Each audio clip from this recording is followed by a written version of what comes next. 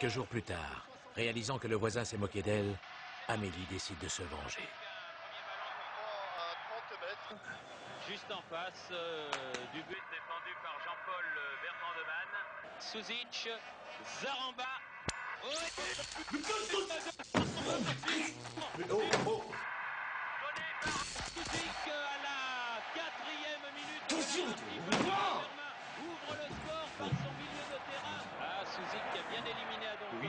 En place pour frapper. Voilà. Oh. Oh.